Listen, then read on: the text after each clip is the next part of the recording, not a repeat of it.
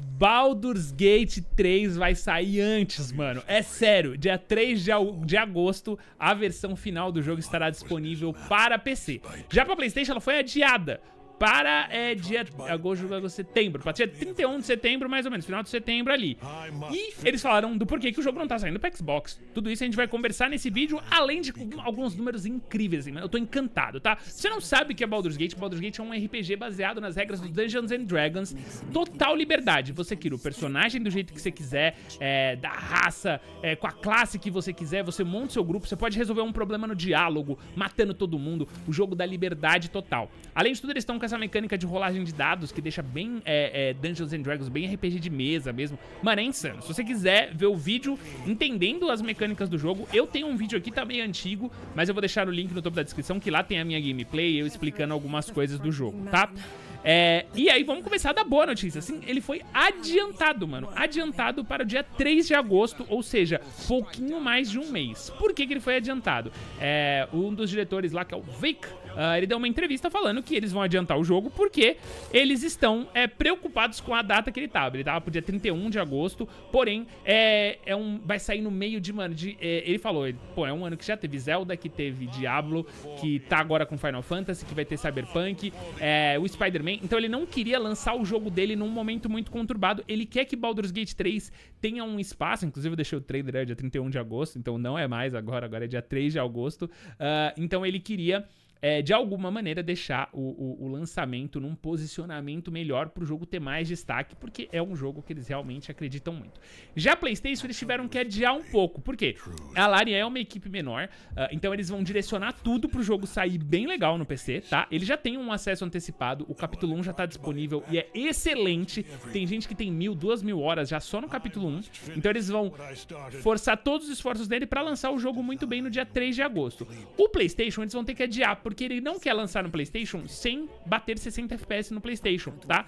Então ele falou que eles já estão quase ali batendo o a meta de 60 FPS na gameplay uh, no PlayStation, então eles precisaram desse tempinho a mais pro jogo sair perfeito no PlayStation também.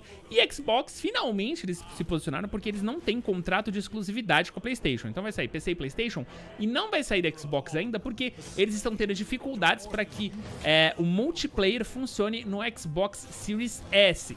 É um problema que eles vão resolver, eles já prometeram, porém é um problema e eles não queriam lançar é, com um elemento a menos no Xbox Series S. Então, assim que eles resolverem é, com relação à funcionalidade no, no Series S, é, no X eles falam que é tranquilaço, que o console é potente, aguenta, mas o S tá dando um pouquinho de dor de cabeça, mas não é nada que eles não vão conseguir resolver, tá? Como eu falo, mano, é um dos jogos que eu mais espero. Eu tô muito feliz com essa notícia, eu não sabia dela. E, mano, e eles conseguiram mais alguns dados bem interessantes. É só pra vocês terem uma noção tá? Olha o tamanho de Baldur's Gate 3. Ele tem mais de 2 milhões de palavras, ou seja, é de texto, né? Ele tem mais do que os três volumes do que os, do Senhor dos Anéis. Ele tem mais de 170 horas de cinemáticas, de, de, de cenas. De, mano, que, que, parada insana.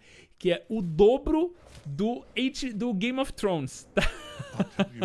então, assim, é um jogo gigante. Além do que, você vai ter. Uh, são 21 classes, 46 subclasses, mais de 600 magias que permite com que você modifique o seu estilo de jogo, certo, mano?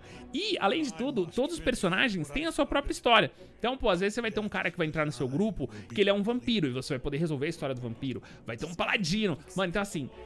Ai, que da hora! Mano, é o jogo que eu mais tô esperando de todos, assim, tá ligado? Eu sei que, pô, ah, é jogo pra ganhar Game of the Year? Não, mas ele é jogo pra ganhar RPG do ano, tá? Eu acho que ele entra na briga de RPG do ano aí com o Diablo, por exemplo excelente, já tem um acesso disponível e eu vou começar em breve a trazer conteúdo já de Baldur's Gate 3 aqui, uh, desse acesso antecipado, classes, personagens, dicas, para que no lançamento no dia 3 de agosto a gente esteja a, é, preparado e afinado. Então não deixa de seguir aqui o canal para mais conteúdo.